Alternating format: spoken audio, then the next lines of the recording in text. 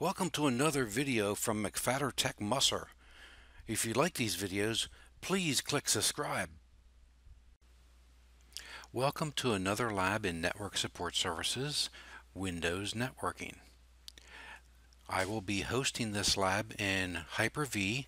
You as the student will follow along, answering all questions and taking the appropriate screenshots as shown in your worksheet. So let's begin. 70-740 Lab 18 Managing Server Installations. The name doesn't really do justice to the topic. What we're going to be looking at is WSUS, Windows Server Update Services.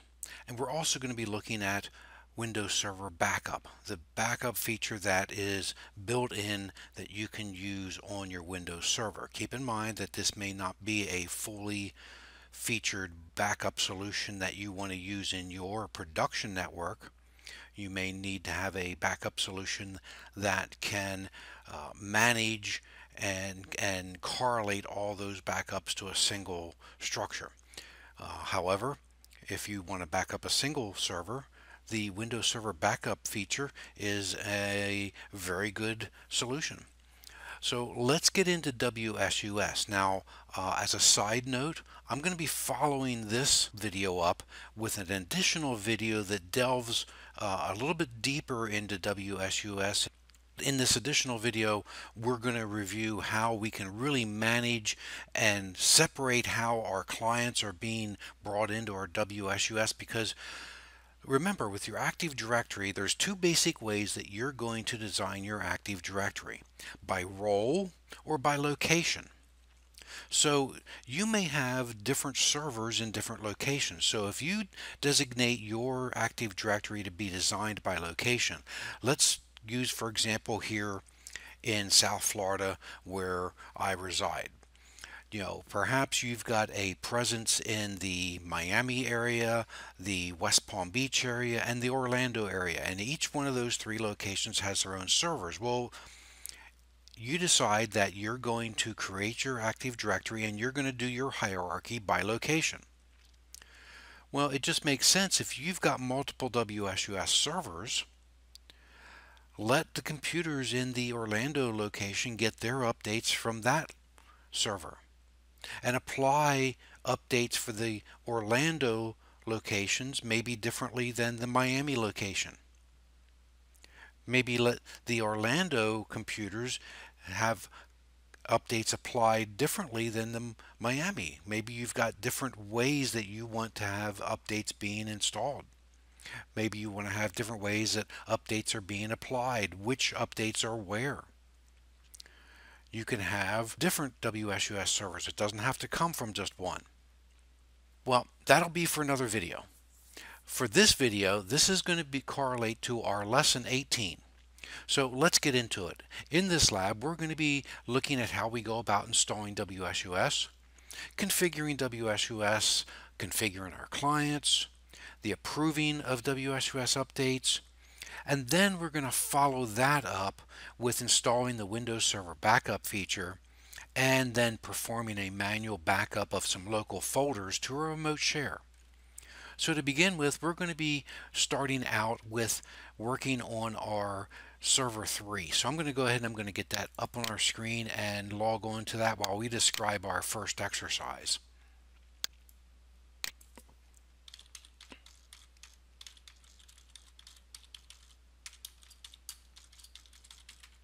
So while that logs on, our first exercise, we're going to be installing WSUS. We're going to use Server Manager to install it, uh, but remember that this is a test environment, so we're going to use what's called the Windows Internal Database. We're not going to connect to a full-blown SQL server. If you're in a large production environment, you're probably going to going to want to put that that that WSUS database on a SQL server. Gives you much more greater management and maintenance capabilities. First off, we're going to create a folder to where we're going to store our updates. So we're going to go into File Explorer, we're going to go to this PC, our local disk, we're going to click on a new folder, and we're going to call that folder Updates. Now we have a place to store, right? we will go ahead and close File Explorer. We're going to go Manage, Add Roles and Features, Next, Next, and Next, and we're going to scroll down to the very bottom of the list, and there's our Windows Server Update Services. We'll select that. We're going to add our Remote Server Administration Tool features, and click Next. Next, Next, on our Select Role Services page. Our WID connectivity, our Windows internal database, it's selected because we're going to be storing that WSUS database locally on this server. Our first question is, what option should be selected to store a database on a dedicated SQL server? Well, it's the one that's not selected. If we highlight this, we can see it installs the feature that enables WSUS to connect to a Microsoft SQL Server database. So if we were going to run a dedicated SQL Server, we would need to select SQL Server Connectivity. There's your answer for question number one. We're going to go ahead and we're going to click Next we need to specify where are we going to store those updates. That's that path that we just created, the C colon backslash updates. There's our folder. We'll go ahead and we're now going to click next again. On the web server, we click next. On the role services, we're going to accept those settings and click next, and then we'll click install. This will take a few moments to install.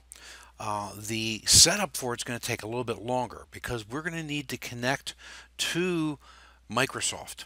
So if you look here, I do have our router running. So this server can connect to WSUS because we need to be able to poll for updates. Remember, WSUS is going to give you the ability to granularly control what updates your computers get and when they get them and get reporting back on what updates are installed, what haven't been installed, what may have failed. Having that view is critically important for you to maintain the security of your organization. This is all part of our patch management. You can't rely on the individual computers to have their updates installed because you'll never know what patch level all your systems are at. WSUS gives you the ability to get that reporting plus the push of the updates out. It also controls bandwidth. You're going to do one download for an update that you could push out to 10 or hundreds or even thousands of computers.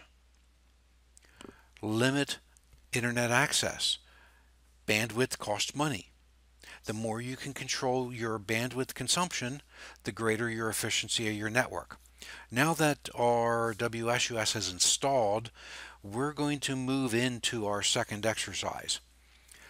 And what that is, is you must configure WSUS so that it can retrieve those updates from Microsoft or perhaps another WSUS server.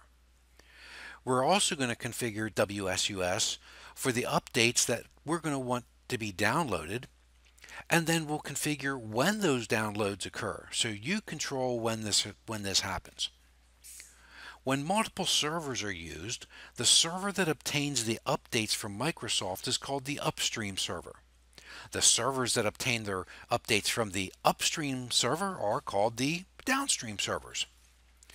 If we use multiple WSUS servers, you need to make sure that server to server and server to client communications are using SSL, Secure Sockets Layer. You would, you would ensure that by the use of certificates. In our case, we're not going to be doing this with certificates. So we can now close our Add Roles and Features wizard screen.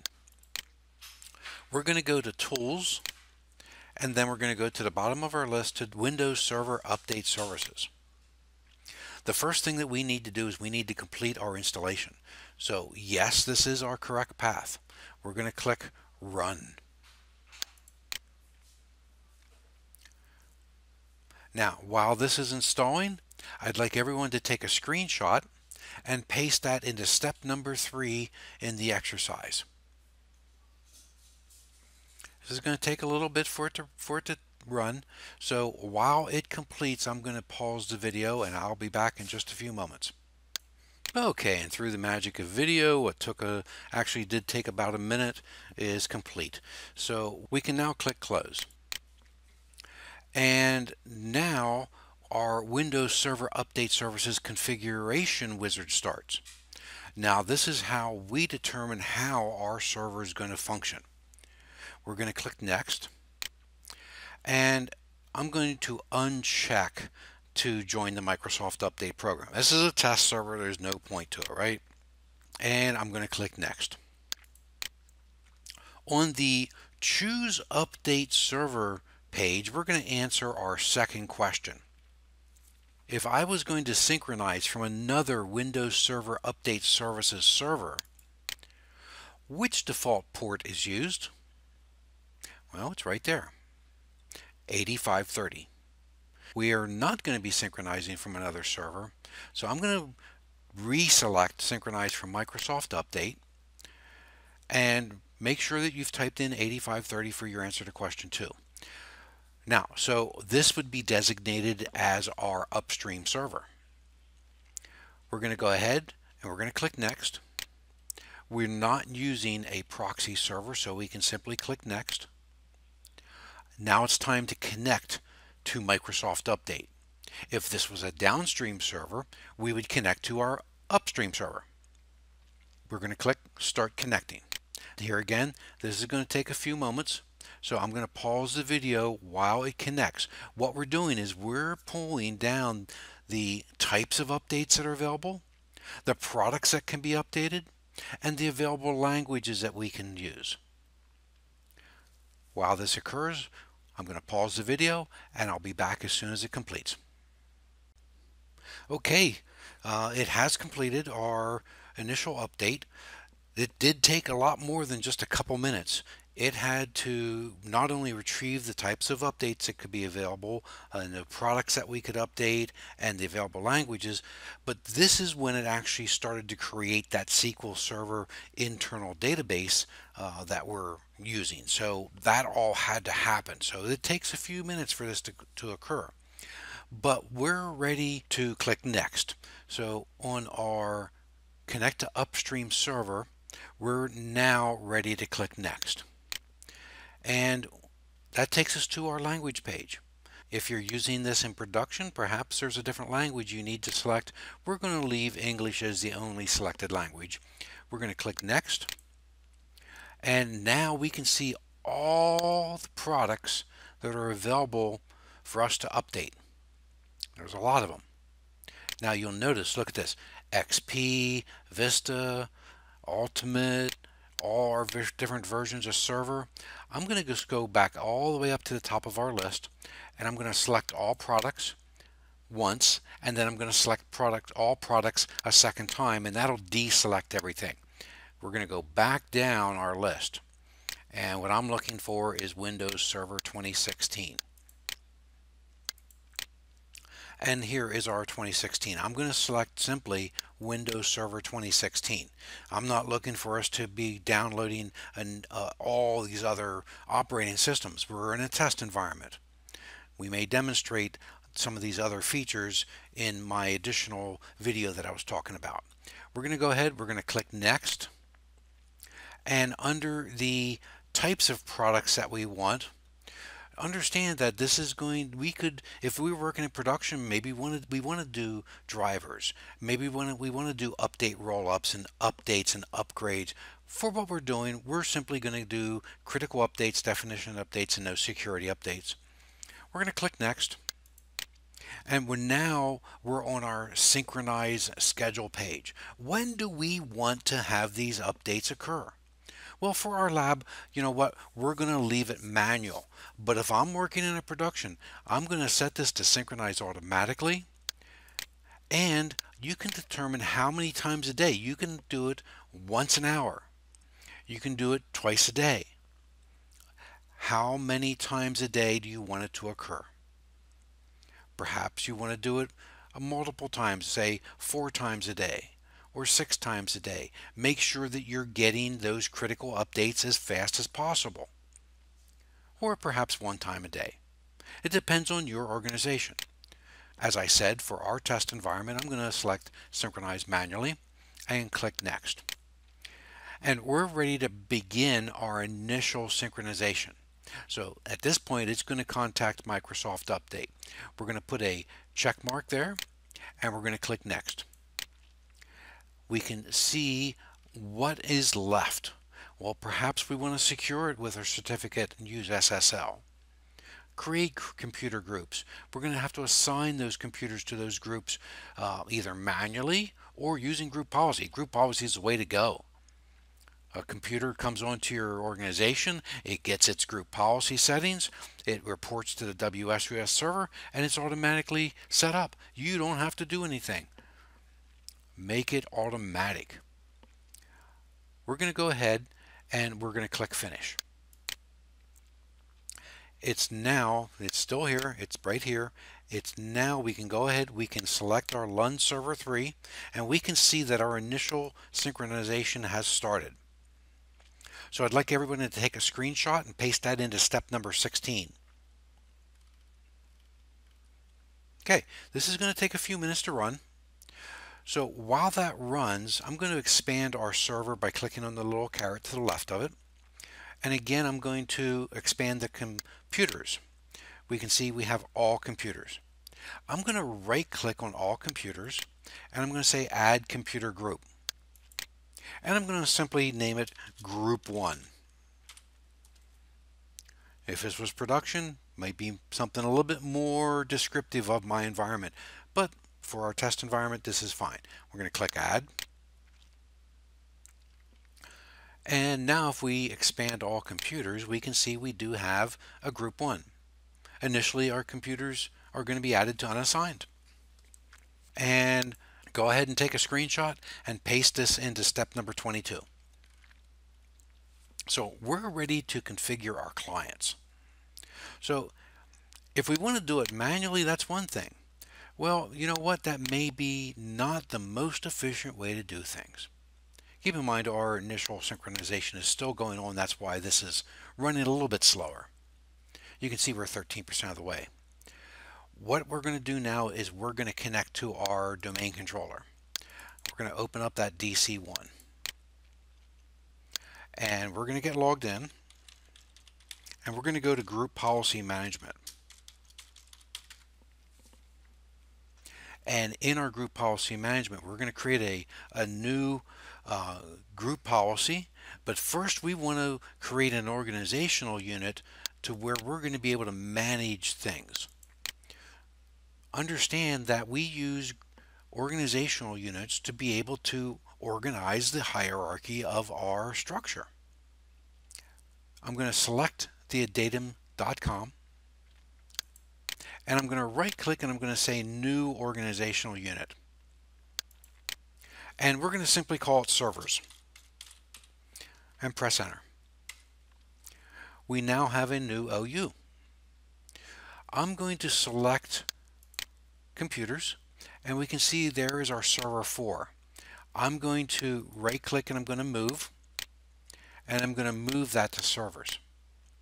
And we can see that that computer, that member server is now a member of the servers OU. We're going to close our Active Directory users and computers and we're going to go to Group Policy Management. In Group Policy Management, we're going to create a group policy for servers. And so we're going to expand our forest, we're going to expand our domain, we're going to expand adatum.com we can see our servers OU. I'm going to right click on them and I'm going to say create a GPO in this domain and link it here. So this will immediately take us to a new group policy object that'll be linked to servers. What's the name of it going to be? It's going to be server updates. We'll click OK. And if we select servers, we can now see that group policy is there. I'm going to expand it. There's our object. I'm going to right click and I'm going to say edit. I'm going to maximize this to make it easy for us all to see what's going on here. I'm going to expand computer configurations and then policies and then administrative templates and Windows components. We're going to scroll down to the bottom of our list till we see Windows Update. In Windows Update, I'm going to sort by name, that way it's alphabetical, and I'm going to go down to where it says specify an intranet Microsoft Update service location. We're going to double click on that and we're going to click enabled. Well, it's enabled, but it, we haven't told it where to go yet. So we're going to type in http colon backslash lun dash svr3. That's our server. Oh, wait a minute. Did it back, did it wrong. There we go. That's a little bit more like it. Now I'm also going to put that in as my statistics server. We're going to go ahead and click OK. We're going to go up to Enable Client-Side Targeting and we're going to click Enabled. And what are we going to enable it for? We're going to enable it for Group 1. Remember we cr created that Group 1 on our WSUS? We're going to click OK.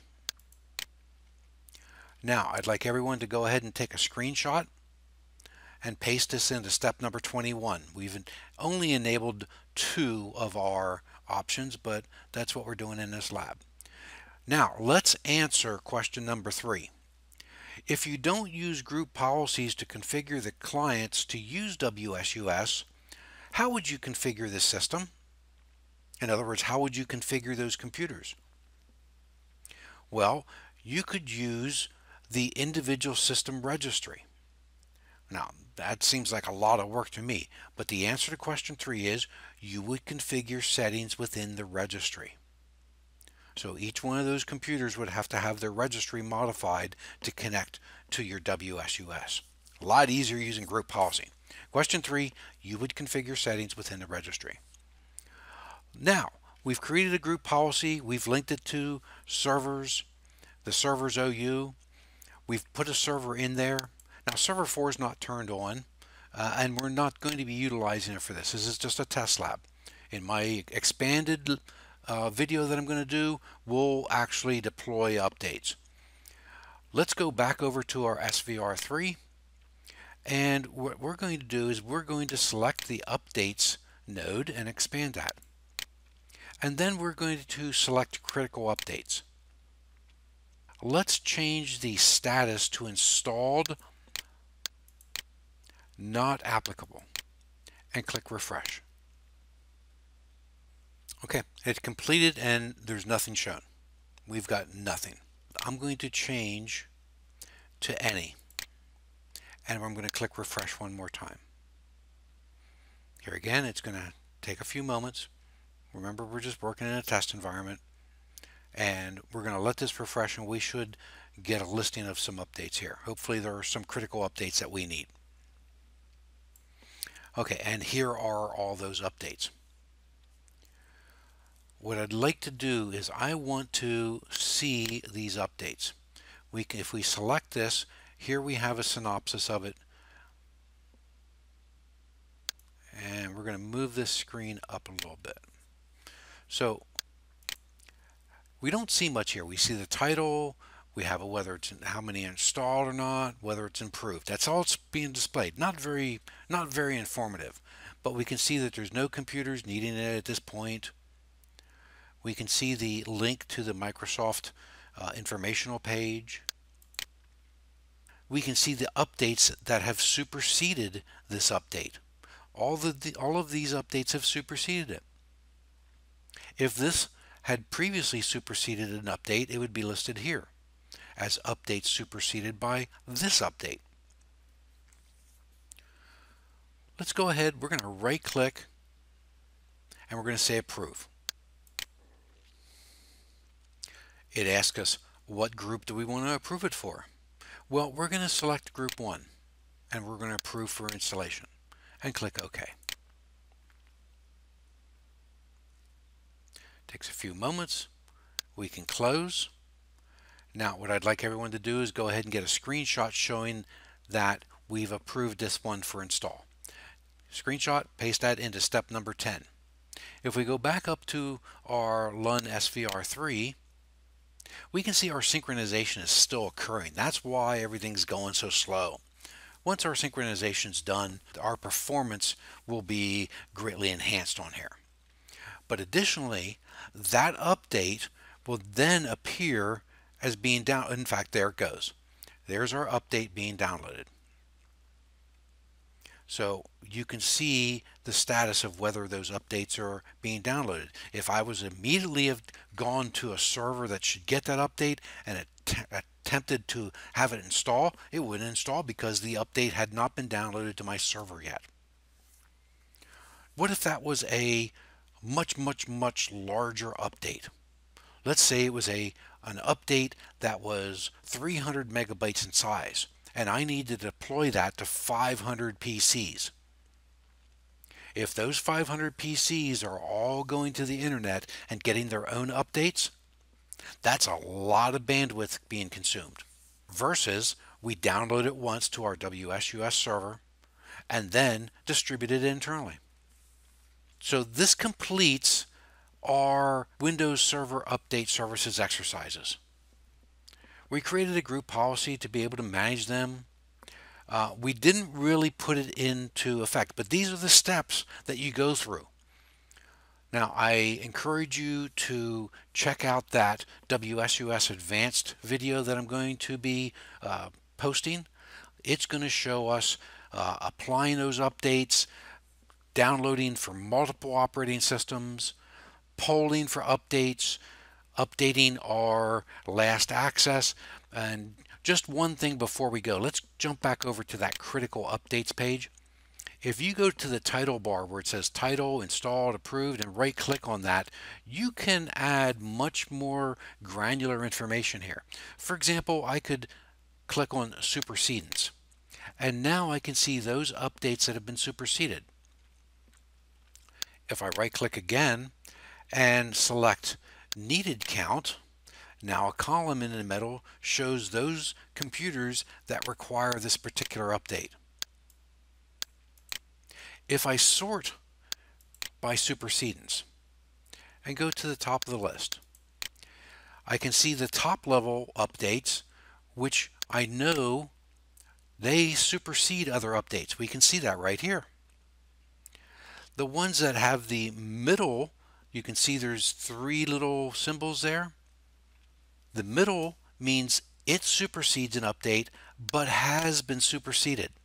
And we can see that view right here.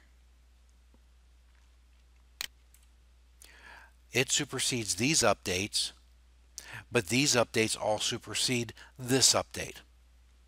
And then finally, looking at our list, and that list is getting a little bit longer,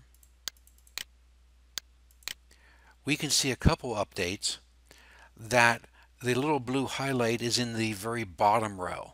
And that means it has been superseded by another update. It doesn't supersede anything. It's a base level update that's been superseded by other things. Just a little bit different view. We'll go into more detail on that in my advanced video. So for now, that ends our exercises of working with WSUS. I'm going to go ahead and I'm going to close the WSUS console. In our fifth exercise, we're going to be installing the Windows Server Backup feature. And then we're going to use that in our lab challenge. So it's very simple. We're going to go over, to our domain controller. We'll jump back over to that again.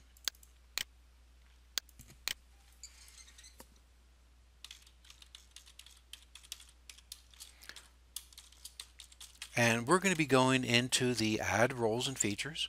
We can close our group policy manager and group policy management editor and we're going to click on manage and we're going to go to add roles and features once more and we're going to click next next on our destination next we're going to click next one more time to get to the features and we're going to go to the bottom and we're going to select Windows Server Backup. We're going to click Next and Install. Once our installation is complete, that'll be your next screenshot. And I'm going to pause the video while it installs. Okay, so actually while that's installing, I'm going to jump back over and it's done. Well, never mind, never mind.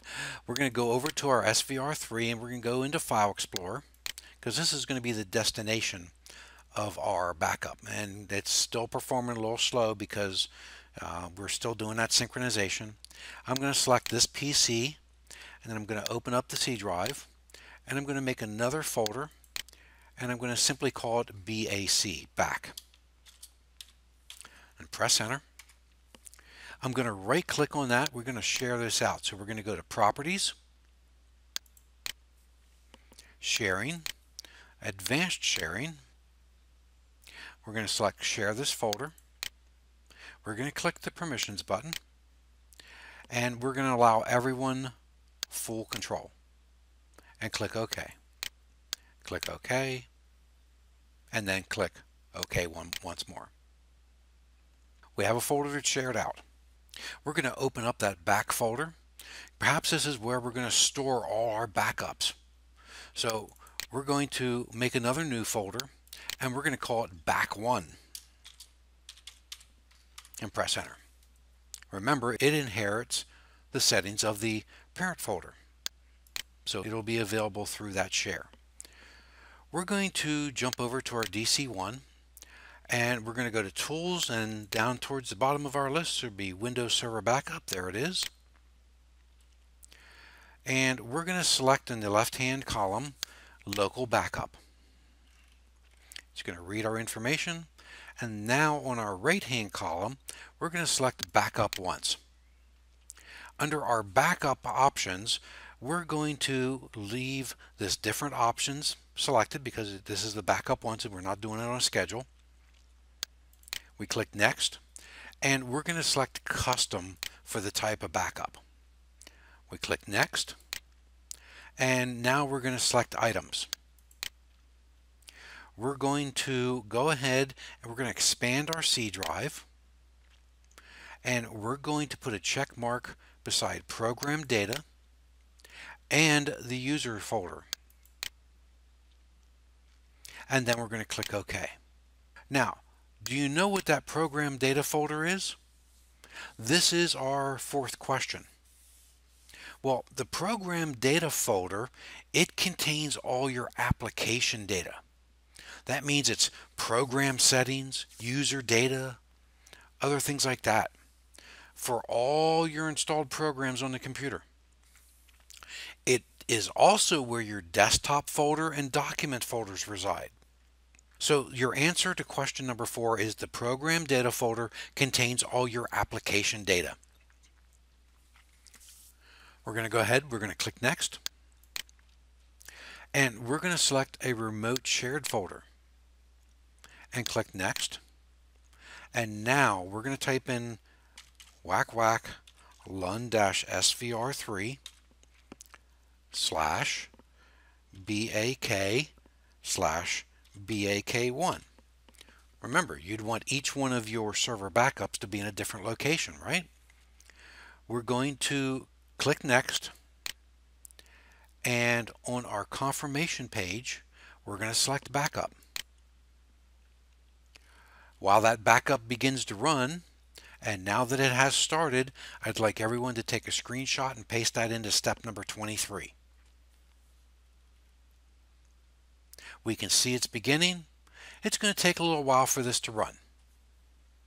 But this is how you back up a server immediately if you want to have a specific folder backed up. So we did a backup once. You could set a backup schedule. You can recover from this. So this is how, you, and there it is done. Well, our lab is also done. Thank you for viewing this lab.